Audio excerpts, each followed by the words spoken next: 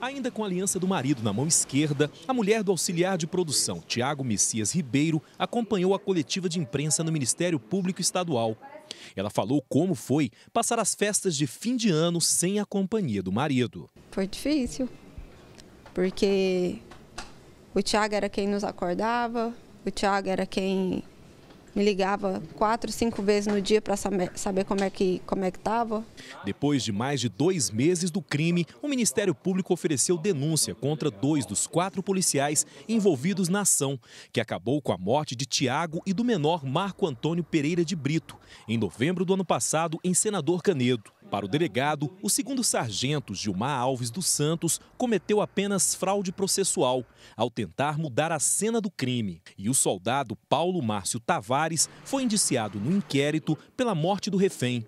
Já para o Ministério Público, os dois policiais foram responsáveis pelas mortes tanto de Tiago quanto do menor infrator. O Ministério Público também descartou a tese de legítima defesa apresentada pelos PMs. As duas vítimas não tiveram possibilidade de defesa, não puderam se defender dessa situação toda, por vários fatores. Primeiro, da abordagem policial, que foi completamente errada, equivocada. Segundo, a questão do veículo, quando ele estava completamente parado, os, os disparos de arma de fogo não cessaram.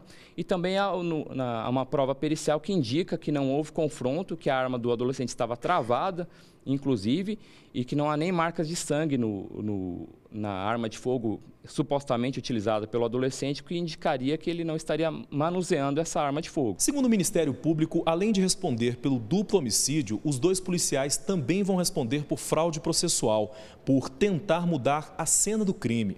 Só que nesse caso, eles vão responder na Justiça Militar. Em outubro houve uma alteração legislativa, houve a, a publicação da Lei 3.497, em que ampliou o rol de crimes militares. Então, na visão do Ministério Público, Trata-se de um crime hoje militar e eles vão responder na justiça militar e não na justiça comum. O advogado da família diz que agora eles vão buscar na justiça uma indenização para a mulher e também para os filhos de Tiago. Queremos entrar com ação de indenização contra o Estado, né, pleiteando para ela uma pensão vitalícia, é, pleiteando também uma pensão para os filhos até a idade da faculdade né, e reparação de danos morais e materiais pelo fato ocorrido.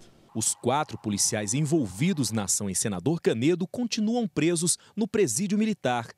Dois deles são arrolados na justiça apenas como testemunhas. Independente se foi um, dois ou os quatro, é... meu esposo já não está mais aqui.